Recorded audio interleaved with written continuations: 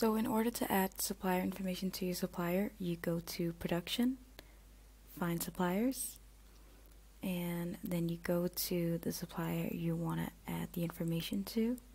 And then under contact persons, you simply just click add contact person. And then up here, you write the name.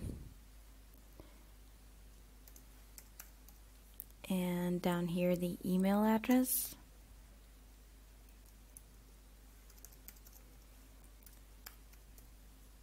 And then once you've done that, you simply just click add and that's it.